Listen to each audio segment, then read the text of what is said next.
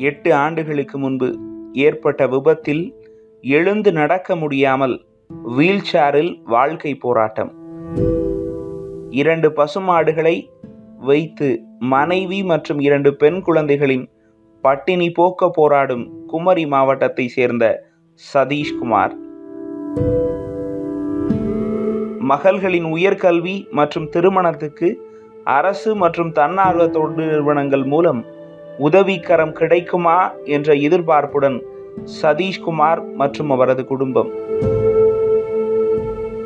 அன்றாட வாழ்வில் தனது குடும்பத்தின் பசி போக்க என்ன செய்வது என்று யோசித்த இவர் சுய உதவிக்குழு மூலம் லோன் வாங்கி இரண்டு பசுமாடுகள் வாங்கி அது மூலம் பட்டினி போக்க வழி தேடினார். ஒருவர் உதவி எப்பொழுதும் தேவைப்படும் என்பதால் இவரது மனைவிக்கு வேறு வேலை தேடி முடியாமல் இரு பசுமாடுகளிலிருந்து பால் விற்று கிடைக்கும் ஒரே வருமானத்தில் பட்டினி போக்கி வருகிறது இந்த குடும்பம். வீல்சாரில் பல இடங்களில் தோட்டங்களில் மாடுகளை புல் மேய்வதற்கும் மாடுகளுக்கு புற்கள் பறிப்பதற்கும் செல்லும் காட்சிகள். பலருக்கும் இவரது வாழ்க்கை போராட்டத்தின் ஒரு எடுத்துக்காட்டாகவும் முன் உதாரணமாகவும் அமைந்துள்ளது.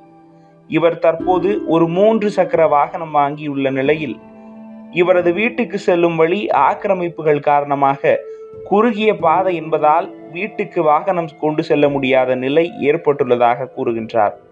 இதனால் சாலையில் உள்ள ஆக்கிரமிப்புகளை அகற்ற இவர் குளித்துறை நீதிமன்றத்தில் வழக்கு தொடர்ந்து மூன்று ஆண்டுகளாகியும் இந்த வழக்கின் மீது இன்னும் தீர்ப்பு வரவில்லை என்று வேதனையுடன் தெரிவித்தார்.